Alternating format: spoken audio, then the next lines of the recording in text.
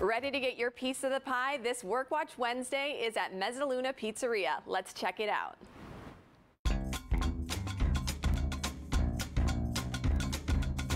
This week's Work Watch, I'm at Mezza Luna Pizzeria. They have multiple jobs available, and if you like to work for dough, you better come work here before I take this job. What makes this pizzeria different? Uh, as far as uh, Mezza Luna goes, we I grew up in New Jersey, and uh, the pizza's as close as I can make it to my my home, basically. And uh, we've we've always tried to stick to that. What current positions do you have available? We have counter and kitchen. Um, we're looking for ex- experienced pizza cooks, but we could train um, counter staff, uh, um, dishwashers, salad makers. I mean, we basically have all our positions open. And what are you looking for in an employee? Somebody that's you know shows up on time, is responsible, you know, a good team player, uh, just someone that we can rely on. We try to treat all our employees like their family. You know, it's uh, this has been a very family-oriented restaurant. Mezza Luna offers competitive pay plus tips, benefits, and bonuses.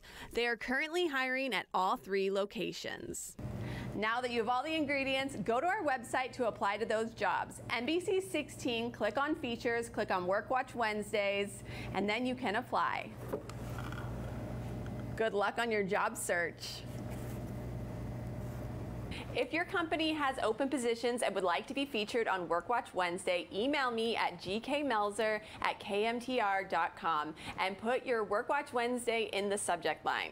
So, Genevieve, we have to kind of uh, explore a little bit of the magic behind the scenes TV magic. You were having a bit of a hard time figuring out, as you can see here, how to actually get the pizza off of the board. Uh, how did you learn how to do this? Yeah, John definitely showed me how to do it. I tried, but I couldn't. It's a lot harder than I you bet. think. And I was, you know, shaking it, and I was like, you know what? Let's let the experienced professionals do Yeah, this he's got part. the perfect touch for it. just a little bit yes. of oomph just to get that pizza off without folding in on itself. That wouldn't be good. Absolutely. And it smelled amazing in there. I was like, oh, pizza, it's so delicious. I bet. All right, Genevieve. Thanks for that.